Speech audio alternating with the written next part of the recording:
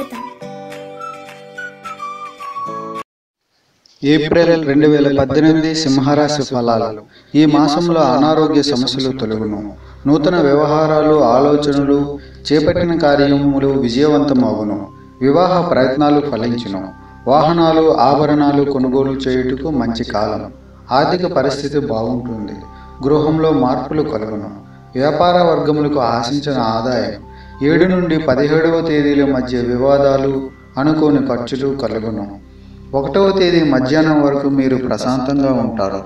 అప్పటి నుండి మూడవ తేదీ సాయంత్రం లోపు మీకు ఆశించిన ధనం సునాయాసంగా లభిస్తుంది. మీరు సృజనశీలుడు. మీ ఆలోచనలను వివరించడానికి కొన్ని లావాదేవీలు జరపటానికి ఇది తగిన సమయం అని చెప్పవచ్చు.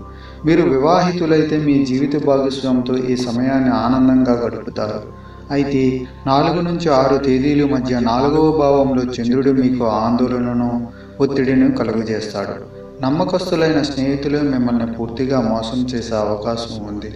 ఎంత శ్రమించినా సత్ఫలితాలు దక్కవు కుటుంబ సభ్యులను మీరు పట్టించుకోవడం లేదనేది కుటుంబీకుల భావన. దూర ప్రదేశాల్లోని విద్యార్థులు తగిన వసతి భోజన సదుపాయం లేక ఇబ్బంది పడతారు. వారసత్వపు ఆస్తి వ్యవహారాల్లో మీరు కొంత కలవరపడతారు. ఏడవ తేదీన ఆరోగ్యం కొంత క్షీణించినా వెంటనే తగు జాగ్రత్తలు చికిత్స తీసుకోవడం వల్ల తిరిగి మీరు ఆరోగ్యవంతులయ్యే అవకాశం ఉంది.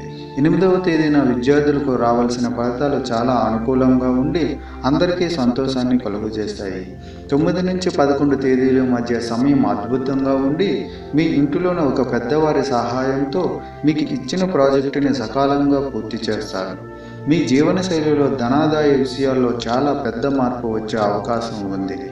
దైనందిన జీవితంలో కావలసిన అన్ని వస్తువులను మీరు చమకూర్చుకుంటారు మంచి ఆరోగ్యం రెట్టించిన శక్తి ఉత్సాహాలతో మీ పనులను పూర్తి చేస్తారు. పన్నెండు పదమూడు తేదీల మధ్య కాలంలో మీరు కోరుకునే విలాస వస్తువులు మీకు లభిస్తాయి. వృత్తి కుటుంబం రెండింటినీ సమన్వయం చేసుకుంటూ ముందుకు వెళ్తారు. కుటుంబంతో ఆనందంగా గడుపుతారు. పద్నాలుగు పదిహేను తేదీల సమయం మీకు ప్రతికూలం అవుతుంది శ్రమకు తగిన ఫలితం పొందలేక పోతున్నాననే భావన మీలో బలంగా ఉంటుంది. పదహారు పదిహేడు తేదీల మధ్య అనుకూలమైన దశ ప్రారంభమయ్యే అవకాశం ఉంది.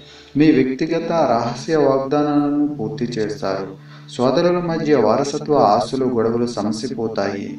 మీకు కొంత తక్కువ భాగం వచ్చిందనిపించినా తృప్తిగానే ఉంటారు. పద్దెనిమిది నుంచి ఇరవై తేదీల మధ్య మీరు ప్రదర్శించే మీ గుణగణాలు అందరినీ ఆశ్చర్యపరిచి మిమ్మల్ని ఆరాధించేలా చేసే అవకాశం ఉంది. మీ ఆదాయానికి ఖర్చులకు మధ్య చక్కని వంతెన వంటి బడ్జెట్ను రూపొందిస్తారు. ఇరవై రెండవ తేదీ మధ్యాహ్నం వరకు సమయం చాలా సహాయకారిగా ఉంటుంది. లాభాలు పొందుతారు. కుటుంబం గురించి జాగ్రత్తలు తీసుకుంటారు. ఇరవై రెండు సాయంత్రం నుండి ఇరవై మూడు రాత్రి మధ్య కలత చెందుతారు. ఒక నష్టం సంభవించవచ్చు. ఇరవై నాలుగవ తేదీ మధ్యాహ్నం వరకు మీలోని అసహనం పోట్లాట్లకు సిద్ధం చేస్తుంది. అయితే మీ ఆవేశాన్ని అదుపు చేసుకోకపోతే మరింత నష్టం జరుగుతుంది.